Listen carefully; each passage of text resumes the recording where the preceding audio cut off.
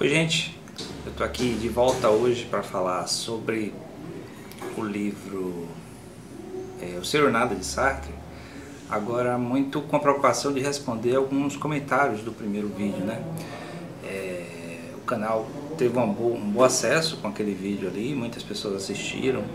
E aí teve alguns comentários, né? algumas perguntas e eu vou tentar responder, esclarecer ou reproblematizar algumas coisas para que as pessoas que colocaram os comentários né, e qualquer outro, é, é, outra pessoa interessada no assunto possa pegar e continuar desenvolvendo. Bom, é, antes de qualquer coisa, não se esqueça de dar o like no vídeo, né, se inscrever no canal né, e também é, acompanhar redes sociais e tal. E veja meus livros também, está aí na descrição do vídeo. Um deles, inclusive, tem a ver com o que eu vou falar hoje.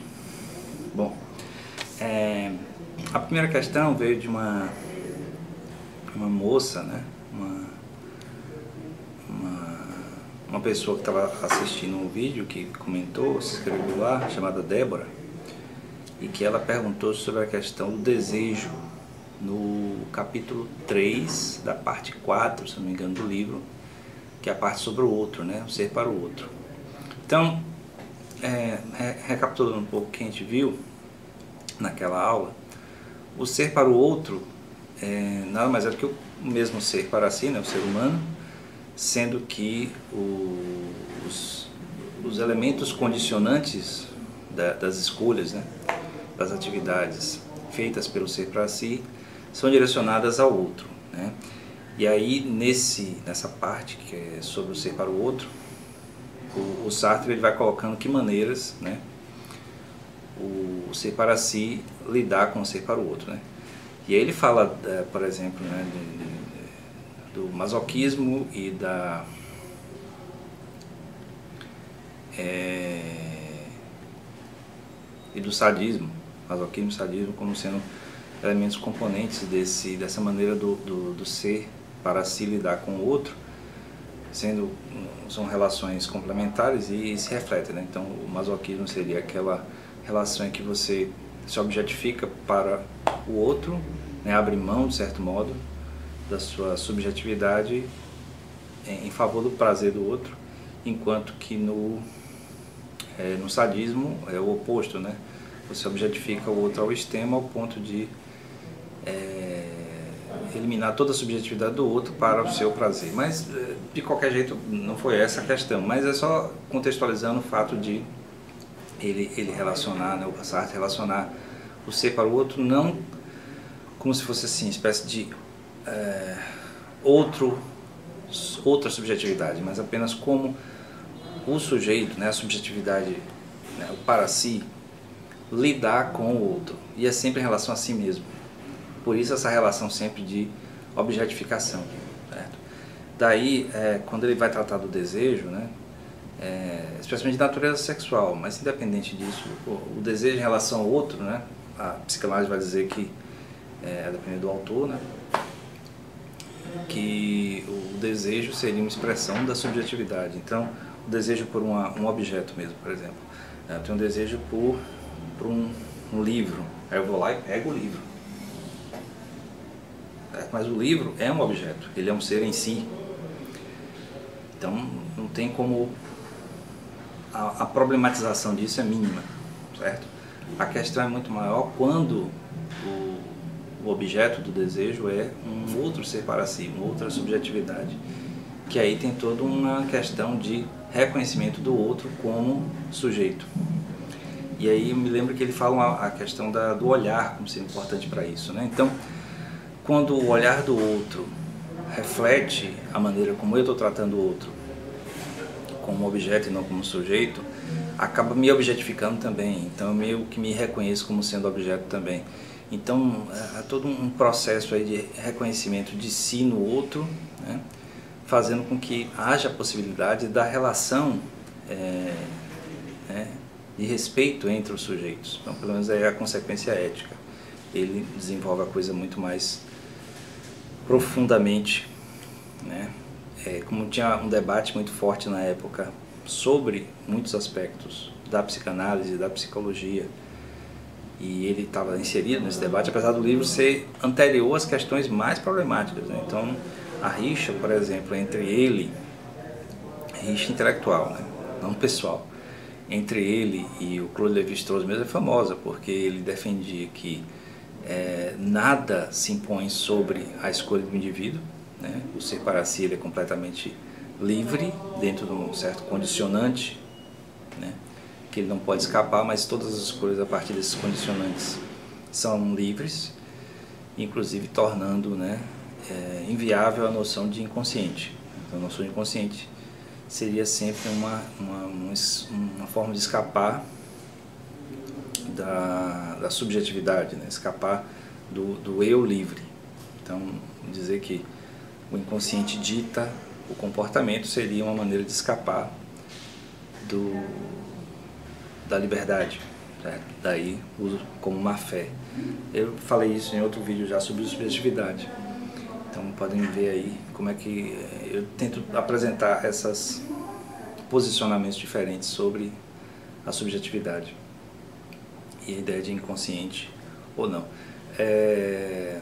Então, como o Sartre defende essa inexistência ou talvez inatividade, a inefetividade da, do inconsciente para ditar o comportamento, é, o Levi-Strauss, né, sendo um antropólogo estruturalista, ele vai dizer que o comportamento dos indivíduos é ditado pelo inconsciente, né, pelas é, estruturas inconscientes que fazem parte da sociedade.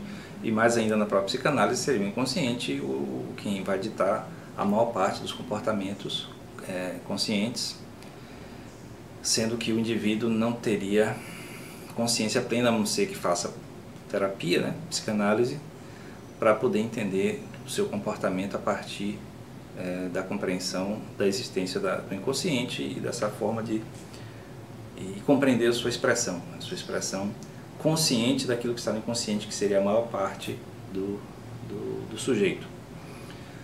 Mas, independente disso, né, quando a gente trata sobre desejo, como a, a Débora perguntou, é, o desejo é uma expressão do sujeito, é uma expressão do sujeito diante de coisas que ele deseja.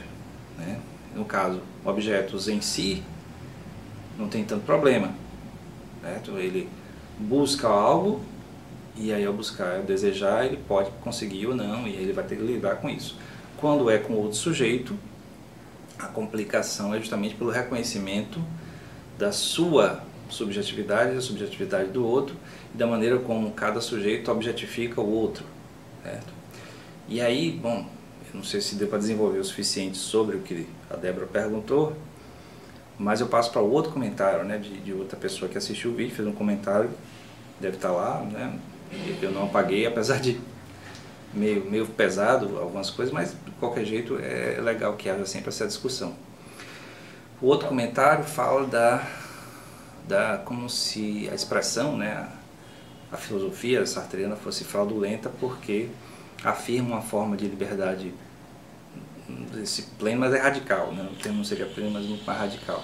De liberdade radical do ser, né? do ser para si, e ele diz que isso é fraudulento porque na verdade haveria toda uma fonte de determinismo em cima das escolhas, e ele cita um exemplo, né, que ele está no livro, eu realmente não lembro, né, daquele exemplo, em que uma pessoa pode fazer o que quiser no, numa situação social, mas uma série de condicionantes o impede de fazer.